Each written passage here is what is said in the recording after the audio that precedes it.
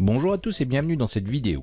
Aujourd'hui une vidéo pour vous présenter euh, comment enregistrer en fait vos cinématiques avec Unity. Alors pour ceux qui utilisent Cinemachine et autres ça va être très intéressant. Euh, c'est une question qui m'a été posée plusieurs fois et euh, bah, je tenais à vous présenter une asset qui va d'ailleurs prochainement être incorporée dans Unity 2018. Alors cet asset est développé par Unity, elle s'appelle Recorder, Unity Recorder qui est en version 1 actuellement. Et euh, bah, vous allez pouvoir euh, par la suite la trouver intégrée directement dans Unity. Pour le moment c'est pas encore le cas, ça travaille encore à quelques euh, corrections et quelques intégrations. Mais vous pouvez retrouver cet asset dans l'asset store. Et elle est évidemment complètement gratuite.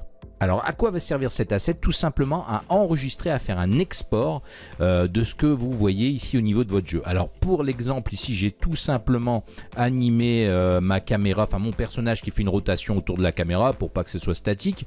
Mais encore une fois tout l'intérêt sera surtout pour ceux qui font des cinématiques d'entrée ou autres ou euh, tout simplement ceux qui font de, l'animation avec Unity, des petites cinématiques, des petits, films, bah, tout ça va être très intéressant.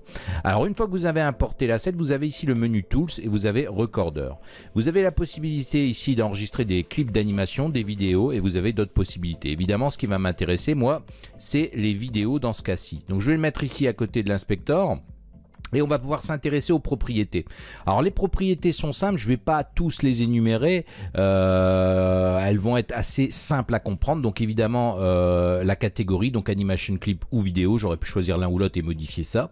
Ici, euh, le recorder. Alors j'ai ici choisi d'utiliser du UTJ Legacy et choisir le format MPEG-4. Mais vous pouvez voir que vous avez du PNG pour faire de l'image par image, du WebM pour, pour l'internet.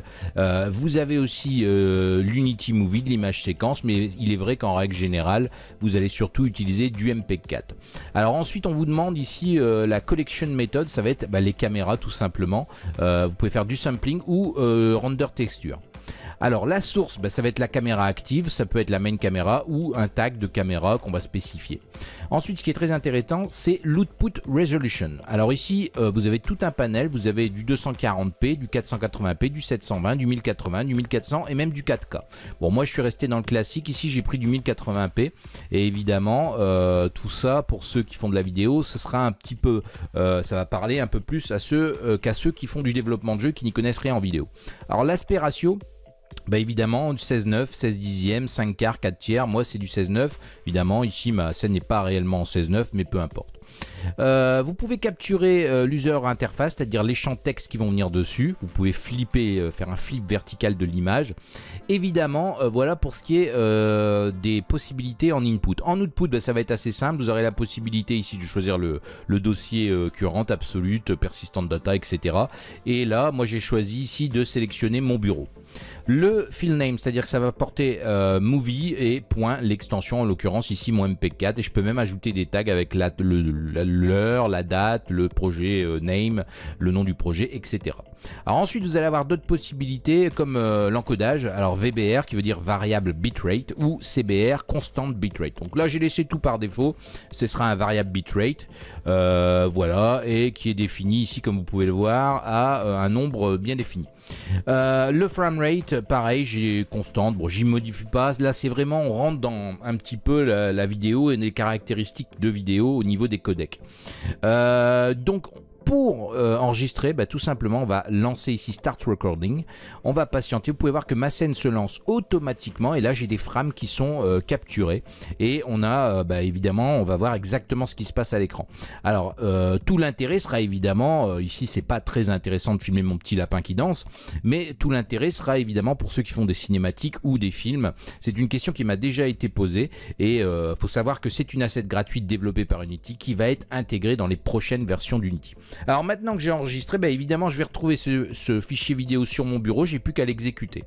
Voilà, donc on peut retrouver ici le fichier Movies sur mon bureau. J'ai plus qu'à l'exécuter pour voir ce qui se passe. Donc c'est parti. Et là, on peut observer ma séquence qui a bien été capturée avec mon lapin ici qui danse. Et on peut voir que c'est euh, très simple d'utilisation. Donc cette séquence évidemment ne fait que quelques secondes, mais tout l'intérêt euh, va être de, l'utiliser dans des cinématiques que vous aurez construites ou, euh, ou bien même faire des captures de votre jeu. Ça peut être aussi assez intéressant. En tout cas, je tenais à vous le présenter parce que ce, cet asset qui est encore une fois disponible gratuitement sur l'Asset Store va être intégré très prochainement dans les nouvelles versions d'Unity et au, au son interface sera remaniée pour être un peu plus jolie qu'aujourd'hui.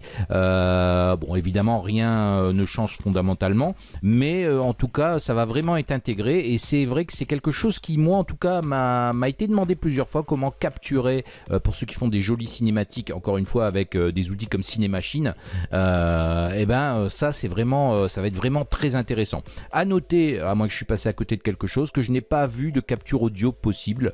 voilà. Alors sans aussi, là j'ai fait une capture vidéo pour la démo, mais vous pouvez aussi capturer des clips d'animation. Euh, c'est un peu différent, mais en tout cas, euh, vous pouvez voir euh, que tout ça fonctionne vraiment très bien et peut être quelque chose de vraiment utile pour ceux qui souhaitent capturer, encore une fois, leur cinématique. Voilà. Donc j'espère que cette vidéo vous aura plu. N'hésitez pas à mettre un gros pouce bleu dessus, à vous abonner si ce n'est déjà fait, et moi je vous dis à bientôt pour une prochaine vidéo.